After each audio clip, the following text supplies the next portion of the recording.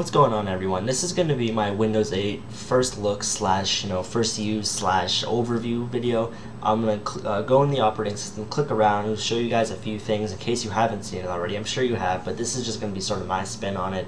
As I'm clicking through things, I'm going to tell you guys what I think about it, maybe what I'd like to see, and um, that's going to be pretty much it for this video. It's not going to be like a full tour of the operating system, but I'm just going to go through a few of the, the major things that are going on in my head when I look at Windows 8 and tell you guys what I think about it. So using Parallels 7, I'm going to go ahead and start up the developer's preview. So while this boots up, I'm going to go ahead and full screen this using Parallels 7's very nice uh, full screen. And I will say right off the bat that I do not have the correct graphical drivers installed. I do get the full resolution, you know, uh, 1080p, 1920 by 1080. However, things are kind of slow, they glitch, you know, things like that. I mean, they're not as smooth as it should be. You know, sort of like a wave there that just kind of glitched in, and that's just due, um, due to the um, virtual machine. I have installed Parallels tools, but last time I did that, I just got a black screen, and so I had to completely reinstall. So if you ran, if you run into this problem, please tell me what you did because I'd rather have a glitchy OS than a black OS. Um, but if you have found a solution for that, I would like to hear it, so go ahead and post that in the description below if you have one. And this is the main screen you'll see once you start up Windows 8, and I have to say it's very tablet-like. It does look very cool, but the problem I have with it is that this is not a tablet.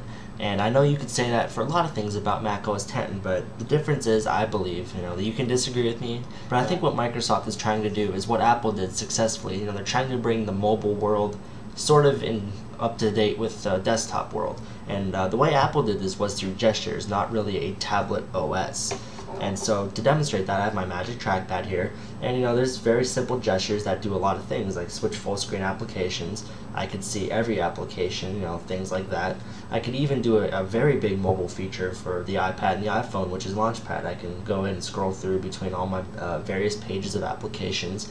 And the difference between this and what Microsoft did is that those those features supplement the desktop OS, they don't replace it.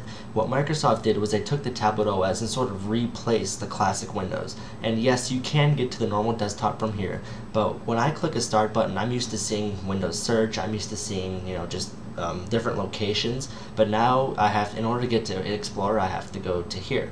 Now one thing I did figure out is that they kind of take um, screen corners and what they do is when you move to the bottom left by the start button they bring up you know the Windows search share devices. So they have different things like that but you know I'd rather instead of get a little thing like that I would rather have you know the start menu with everything with different locations you know my computer network my, my documents. And then you can have you know the top opened applications there. Um, if I click that I just go to here and it's just a whole new interface you know rather than the traditional desktop you have a whole new interface that you really can't get around if you don't like it some people will love this you know some people will be glad that Microsoft brought this to the desktop but you know for me personally I'll take this format any day you know the desktop OS with the mobile features that supplement the desktop not replace it so coming back to Windows Explorer, I'll go ahead and open it up here. Is one thing I really don't like is all this garbage up here. Um, on if I you know I have a 24 inch monitor and it's not a big deal, but if you're on a laptop with a 15 inch screen, all this stuff up here that I'll probably never end up using which just takes up too much screen real estate of that little uh, Windows Explorer window. But um, one thing I do like about it is you have the option to hide it right here you know that's beautiful that's perfect that's exactly what I want you know I don't want to have all this you know jumbled up here like someone just kind of threw it up there. If you look at a Mac OS 10 Finder window they have options up there but they're with they're just one button and from there you can do other things. That looks so much nicer than to just have everything garbled up there I mean there's not even really any order. You have your cut copy paste here but then you have like move to and delete. It just doesn't look very nice so I do like that uh, Microsoft has included the feature where you can just hide it. You can minimize it like it's not even there. I like that. So now we'll just look through some of the you know the built-in applications like weather, you can see sort of the glitching animations there, like I said, due to my graphical issues. But um, this is very nice. You know, I like having um, just an application dedicated to weather. Now, granted, on OS 10, you know, you have widget, but you know, there's that's not really detailed. I mean, and, and this honestly isn't that accurate at times. Like right now, um, it's definitely not a thunderstorm outside. It's you know, it's beautiful outside. So, uh, depending on where it gets its weather from, it, it's just not that accurate.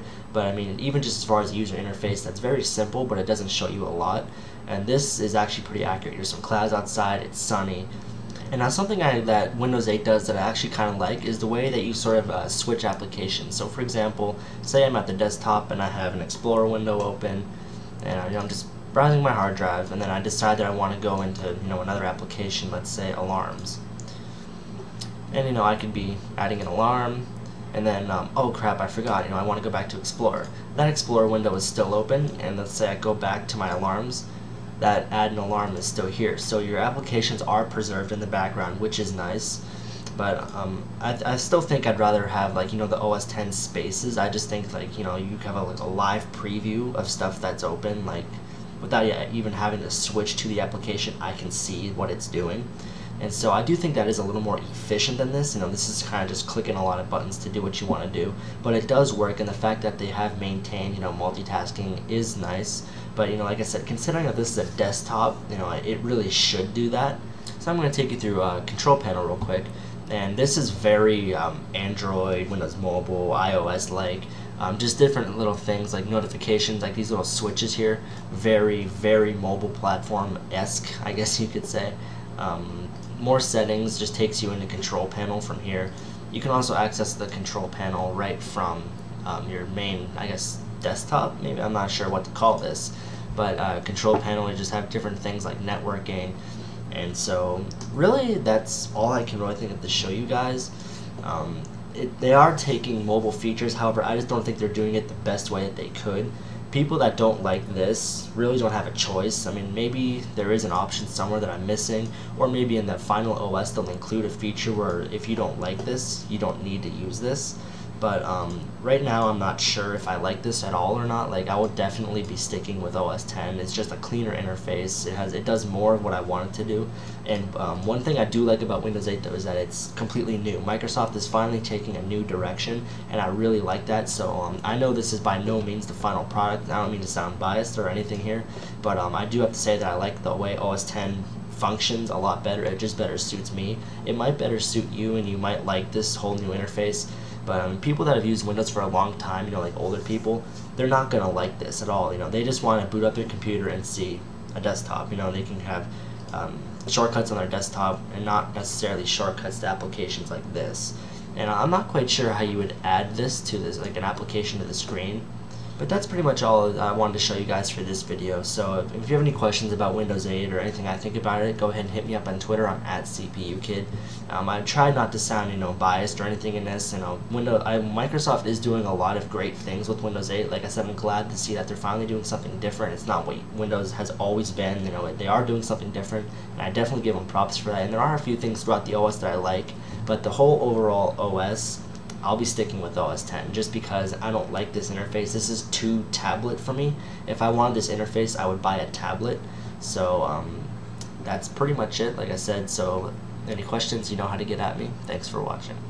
Real quick before you guys click that back button or you close out your browser window, I do have a giveaway going on. If you want to learn on how you can enter that, go ahead and click the little uh, video right there, the annotation. That'll take you on the details of my giveaway.